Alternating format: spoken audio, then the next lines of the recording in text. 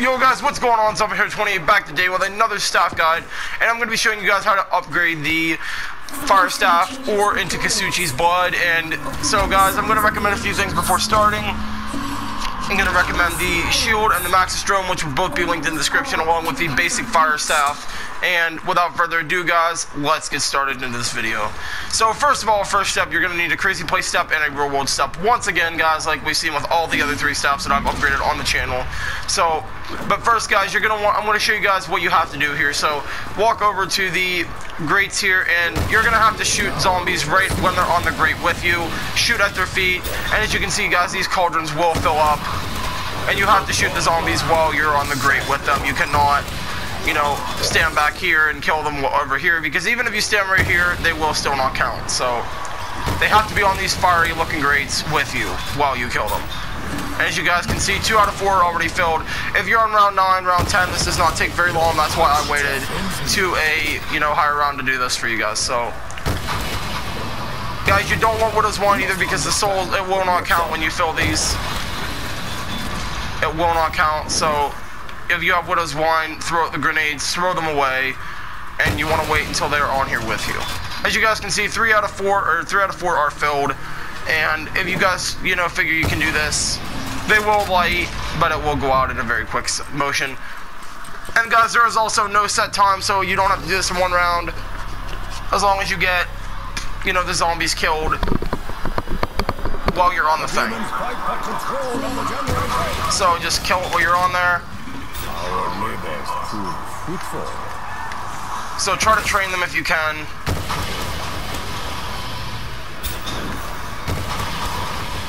As you guys can see, you should hear Pachu.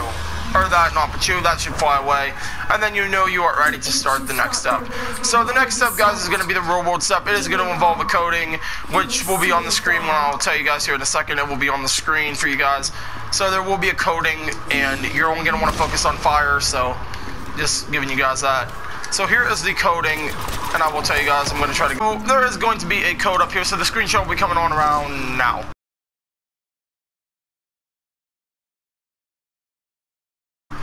To only keep one zombie and leave one alive. So the, the, you can see, guys, there is a code. I will show you guys here in a second here.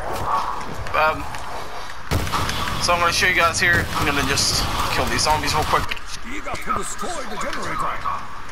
So now I will show you guys now that I am have lost me most likely.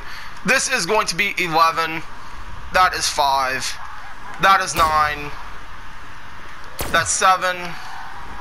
That's 6. That's 3. That's th and this is 4. 4 will always be like that. So, you know, it took me a minute. So, you know, um, my bad. But the one, so it, we have the code of 5, 5, 7, 3 and nine, and 4, which is always a blood stain. So now once you have that, so it was 5, 3, 7, 9. You can shoot these in any order. So right here is 3. Also make sure you guys do have the tank out of here. That. And then 5. You got to do this in quite a quick succession, so just be careful. If not, you guys can just restart it, and it's fine. Which I'm to have to restart. Well, hold up. And then 5. If you've done it right, you should hear Pachu. Which you have to be very quick, so that, that, and then you heard Pachu, so it took me a minute, guys, to get that. This one can take a minute. So once you hear Pachu, you are ready to turn the dials, which I've already have three of them turned to not keep much of you guys' time here. So just race up the steps to excavation here, guys.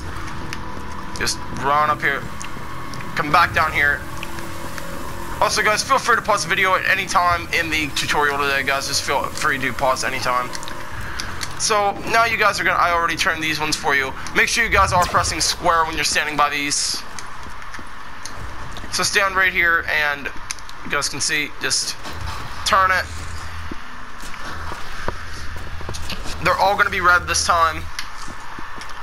Then once you've done this, you should come down here and see a red orb this time, red lavish looking orb. I'll put lavish in the description, or, you know, lavish on the screen here. So this is going to be a lava one, or reddish. Shoot it again like you've done all the others, and Pachu should be hurt again. and you've done this correctly. So now guys, you're going to go back and do what you've done in every other tutorial is going to fill and charge these, the staff with the zombie souls. Just like we did with the lightning, the ice, and the wind, we're going to do the same exact stuff. That's the only stuff that will never change is going to be this one. So, yeah, guys, this mud can be a little bit of a pain, but, you know.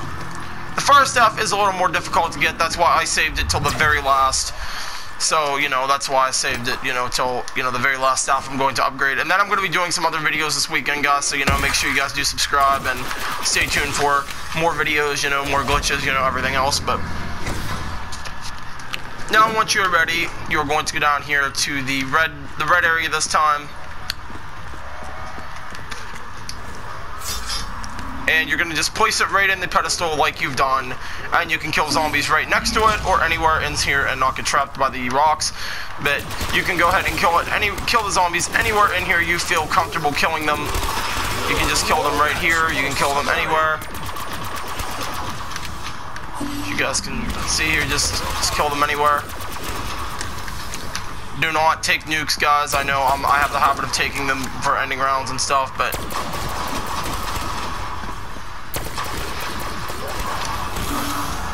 guys can see that the staff is now upgraded and ready to be used.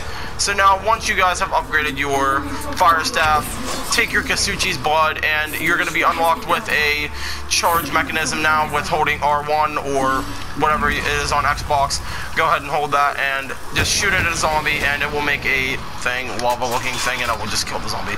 Also unlocked with a new melee attack and you can snipe the zombie if you're if you get lucky enough. And for the last part of the staff, you got the Sekhmet's Vigor or the SV. Oh, I put the Maxis drone out. My bad, guys.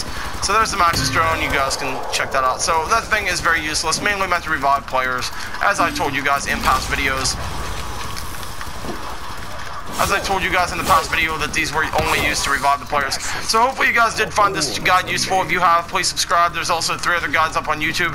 I'll most likely put this in the playlist, and the playlist will be on screen sometime around now. So hopefully you guys do enjoy this video. Leave a like, subscribe. Peace out.